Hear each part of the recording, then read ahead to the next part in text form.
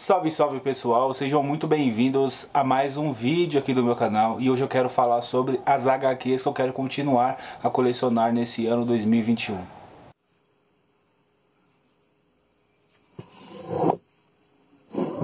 Bom pessoal, eu fiz um vídeo recentemente sobre os mangás que eu quero continuar comprando em 2021, nesse ano. Eu fiz uma seleção aí de quase 10 títulos mais ou menos e nesse vídeo eu separei as HQs que eu quero continuar comprando e gostaria muito que vocês comentassem ao final do vídeo quais são as HQs que vocês querem comprar, os mangás também, que vocês querem continuar, não sei, nesse ano de 2021. Tendo em vista que os quadrinhos estão muito caros, a dificuldade de você comprar alguns títulos, de você encontrar alguns títulos, impede bastante você colecionar muitos títulos. Então eu estou enxugando um pouco o número de publicações que eu estou comprando. Eu quero focar mais em algumas HQs, terminar alguns mangás que eu já estou colecionando e vou evitar ao máximo pegar novos títulos. Neste ano de 2021 eu quero focar em não comprar títulos muito longos, eu quero continuar os títulos que eu já estou comprando e curtindo bastante. Eu quero terminar essas publicações e pegar apenas títulos menores, on-shots, graphic novels, quadrinhos que não tem muitos volumes. O foco é esse para esse ano. Já tem uns dois anos mais ou menos que eu estou focando em comprar mangás. Eu venho comprando muitos títulos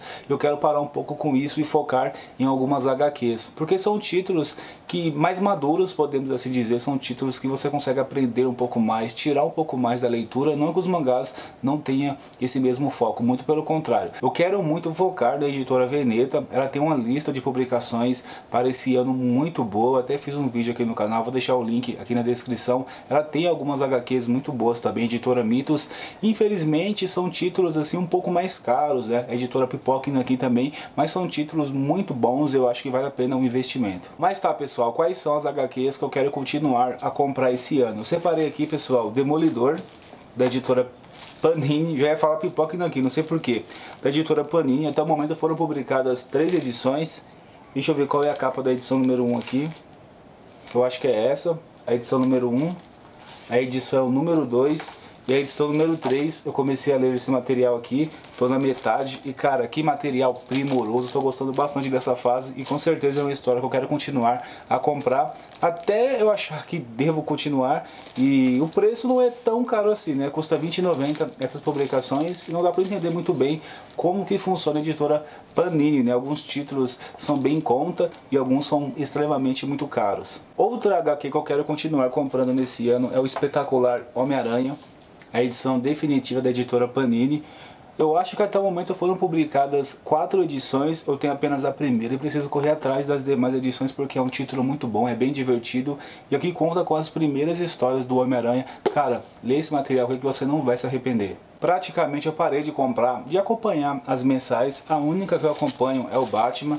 A editora Panini aumentou o preço de capa desse material, passando de R$10,90, se não me engano, para R$20,90, porém vem com mais páginas, não tantas assim, 96 páginas, ou pelo menos é, não veio com tanto de páginas que justifica o valor, mas o Batman é um dos meus personagens favoritos. Eu gosto muito de acompanhar as histórias do morcegão e quero continuar com essa história até onde dá também. Se eu curtir as histórias, eu vou continuar comprando, senão eu vou parar porque tá muito caro. Outra coleção que eu venho acompanhando e curtindo bastante é o Imortal Hulk. Eu tinha começado a ler essas histórias e não vinha curtindo tanto. achei as histórias bem mais do mesmo assim, mas é, conforme eu fui lendo as histórias, eu não abandonei, me agradou bastante vem me agradando bastante e eu quero continuar com esta coleção do Imortal Hulk. Esta aqui é a primeira capa, ou melhor, a capa do primeiro volume. Temos também o segundo volume. Até o momento foram publicadas seis edições.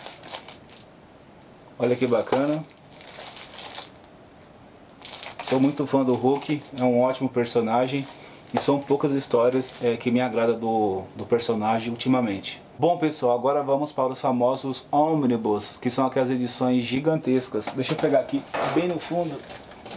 Temos aqui, galera, Quarteto Fantástico, que é um quadrinho da editora Panini, é uma obra da editora Panini, e aqui contém o primeiro volume da fase do John Barney. São apenas duas edições, ou seja, falta apenas mais uma, então quero comprar. Apesar do preço ser um pouco alto, extremamente alto na verdade, é uma ótima coleção, sou muito fã do John Barney e quero continuar com essa fase, então vou comprar. Quarteto Fantástico, o Omnibus da editora Panini. Olha o tamanho desse material. Olha essa lombada gigantesca. Eu também quero continuar com o Conan, o Bárbaro, é uma edição bem parecida com o Quarteto Fantástico, ou melhor, tem quase 300 páginas a menos do que o Quarteto Fantástico, porém ele tem um papel offset e parece ser do mesmo tamanho e tal. Mas é um ótimo personagem também, é uma ótima história, eu curti bastante. Eu não sei quantos ônibus serão ao total, mas eu curti bastante essa HQ, já terminei de ler esse material, achei muito boa e com certeza eu quero continuar com essa fase também, ou melhor, com essa coleção, porque na minha opinião vale a pena pela qualidade de história, apesar de ter um preço um pouco alto também.